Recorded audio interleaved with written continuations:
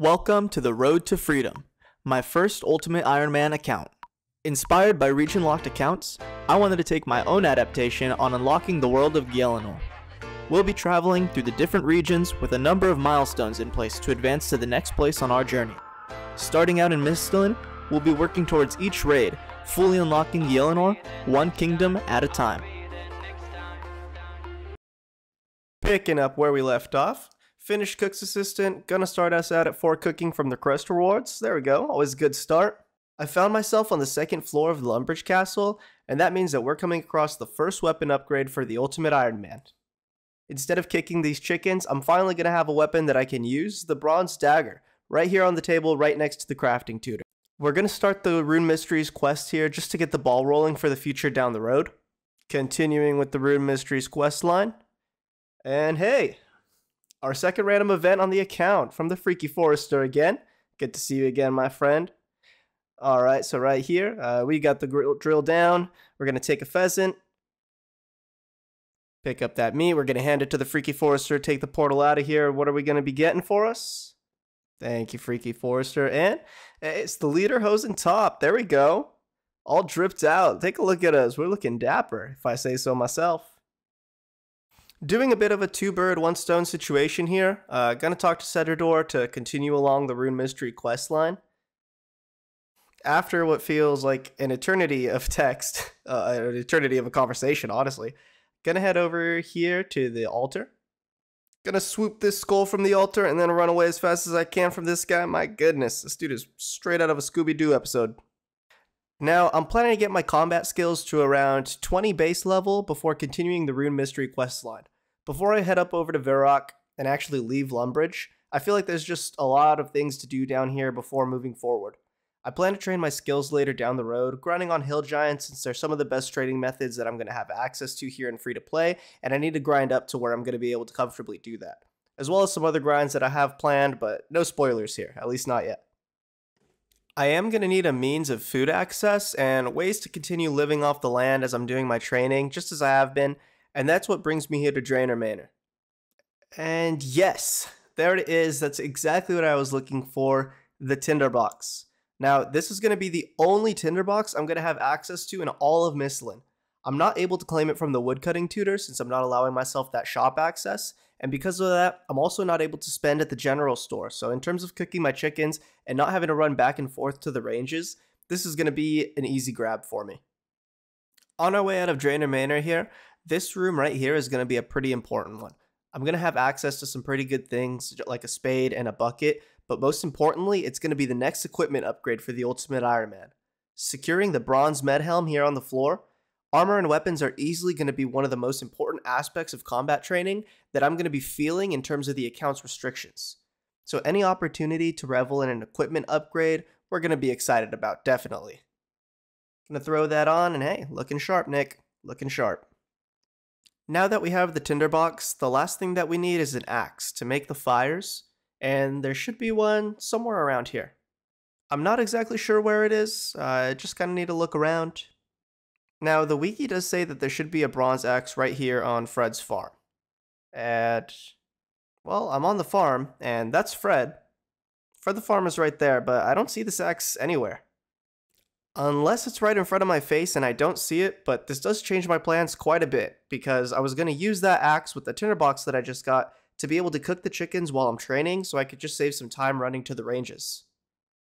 Without the bronze axe, which is supposed to be right here somewhere, I double checked the wiki because I wasn't finding it easily, but I wasn't able to find it here, so I'm to have to figure something out on the fly in the future. Just doing a quick double check around, and I can't find this axe anywhere, so let's just shear some sheep while we're here. Now, we've got the wool, and before we go spin it up, we're to make a quick stop in the crypt here to give the Restless Ghost his long-awaited release. And that is going to be Restless Ghost completed, bumping us up to 11 prayer. And that is going to be Sheep Shearer completed, gaining some more XP for us and crafting level 3, reaching us to a total level of 57, making headway towards our goals. You know, looking around, part of me was hoping that finishing this quest would make that bronze axe magically appear on the floor, but I'm starting to think that I'm losing my mind. Anyways, with a little bit of questing behind us, back to business. We're going to be training attack now here on these chickens. And there is level 2 attack. Come on, man. Don't run away. Don't be a chicken. Second hit point level on the account. We got level 4 attack. And burying these bones here, we're going to get level 12 prayer off the same goblin. Great things come in pairs. Gonna get cooking level 5 on the skilling side of things, taking a break from combat to make up some chickens. And then we're gonna be getting level 6 cooking. There we go, both in the same run. Level 5 attack, we can hold steel weaponry now. If I had one. There we go, we got a clue scroll. Let's take a look. Hopefully it's a Michelin step. And it's in Port Sarim. Never lucky, dude. Still no clue scroll for the Ultimate Iron Man. That's okay, we just gotta keep our heads up. Time will come.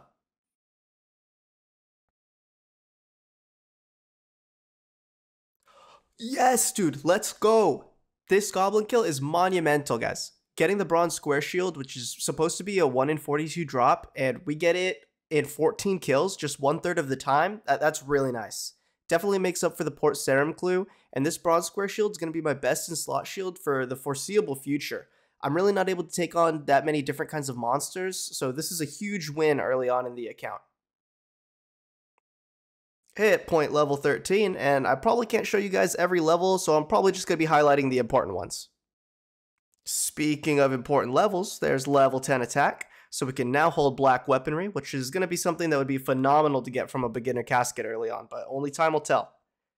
Something neat that I learned, uh, just kind of like reading about RuneScape and discovering things, because once again, I definitely have basic level knowledge of old school, and something that just cool that I learned is that each weapon gives you different attack style bonuses, and these things could matter. So you know how the bronze dagger gives a better stab increase uh, versus like a slash. So I could train strength with the lunge method since it's a stab method, as opposed to using slash, which might not matter that much early, might not matter much later, but learning stuff is cool. And back to the topic of monumental levels. In the pursuit of 37 prayer, every prayer level is a monumental level, so there is 13 prayer for the Ultimate Iron Man. And a flashback to another topic, since I love to remind myself how little I actually know about old school RuneScape. There is, in the little goblin house here, uh, there's an iron dagger on the floor right here. Uh, it's literally been right here the whole time. So, hey, there we go. An additional equipment upgrade for the account. That's awesome. A dagger upgrade. And hey, I'll take it. I'm happy to know that it was right there all along. Uh, like I say, I don't know everything about this game, but these are the fun things, you know, being able to find these little surprises. It's been right there in front of me this whole time. Keeping our training going, here is level 15 strength. And there's going to be another beginner clue scroll. Let's pick that up. Let's take a look, see what it's going to be. And this one's going to be a Reldo step. Uh, we might be able to do that. Before we go, another quick hit point level for us, but we can head over to Varrock, deliver the package, and check this out. The last thing we do before we head over for the Reldo step uh, is going to be level 14 prayer, keeping those prayer levels coming. I love to see them. So the Reldo step adds an additional layer of complexity for my Ultimate Iron Man. For those that don't know, Reldo offers you clue steps in the form of hot and cold clues. He hands you a mysterious orb that, surprise surprise, tells you if you're getting hotter or colder in terms of your location for the thing that you're looking for. Once you find the spot, you have to bring a spade with you and dig up it's either the next clue step or luck out and get a beginner casket. Reldo steps have one of five locations where they can be the wheat field next to Draynor, the cow field north of Lumbridge, the mushroom patch outside of Draynor Manor, all of those three which are accessible to me. However, the two that I'm not able to access are going to be northeast of the Al Kharid mine and Ice Mountain. So every time I get a Reldo step from the beginner clues, I'm rolling a 60-40 chance of whether or not I'm able to complete it. So I'm still trying to find a way to get this bronze axe, and while I'm working on this Reldo step, something to bring up is the level 5 goblin drop table. They have about a 1 in 40 chance of dropping a bronze axe, so in the future, when I've got some more food, I'll be able to train on these goblins here while I'm in pursuit of that axe walking around just trying to check out for the clue. Uh, the clue is colder here by Draynor Manor, which means that this Reldo step is going to be specifically atop Ice Mountain. And that's going to be in the Kingdom of Asgarnia, past Barbarian Village, so I'm not going to be able to get this clue step done. That's a bummer. Uh, funny aside, to lift our spirits, I've been holding on to these runes from Goblin Drops because I figured when the time came to train my magic, I could just spam confuse on the chickens, goblins, and cows over the fences. But it seems that I'm the one that was confused because I'll have to use Wind Strike to get level 3 magic. So I'm not going to be able to do that, and I'm just going to have to get rid of these runes that I've been holding on to. And with these bones here, that is level 15 prayer. Every prayer level is just a rush of dopamine at this point, man. It feels good. Fighting with these chickens here. On to the next monumental level for the account. We are going to be getting level 10 defense. And with level 10 defense, that means that there is going to be a new challenge that approaches us here on our journey. Now, from the short level 10 defense grind, we did get a beginner clue scroll from that last set of chickens before the prayer level, and this one is going to have us talking to Gertrude here in Varrock, which is in the direction that we're headed for the next step. So let's see what we're going to get when we talk to Gertrude here. Yes! We got a casket. First beginner casket on the account, and this is huge. We could get so many good things. Black item drop table, staff of air, rune drops. Uh, I'm really excited. And we're gonna get a black wizard robe top, but there's there's a silver lining here. That's an armor upgrade. This is our first real piece of wearable torso armor. We've been rocking this Lederhosen outfit for a really long time. Uh, it's going to give us some magic defense. It, it's something. I'm going to take it. it. I'm going to call it a win. We're, going to have to say goodbye to the Lederhosen top. I think I'll hold on to it for a while for sentimental value. We've been rocking it for a while. You got to admit, we look pretty good, especially with the Ghost Speak amulet. It all kind of matches together.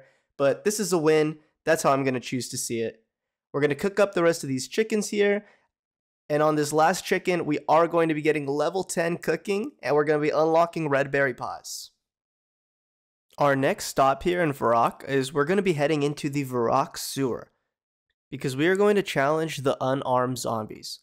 Unarmed zombies are going to have the potential to drop mind runes, which is a source for magic training that we're really going to need. But more importantly, they have a 1 in 128 chance of dropping an iron axe. With our epic failure of finding a bronze axe earlier, we still need an axe to be able to get some wood cutting done.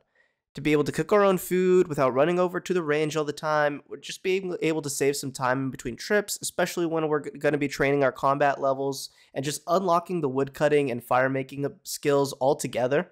Zombies offer a lot of what I'm looking for, so I'm going to see more or less how long this is going to take. So I don't have the footage, but I stopped looking at the screen and got invested into a wiki research grind, and I died to one of these level 13 zombies. Definitely not my brightest moment, definitely not the moment I was looking to shine.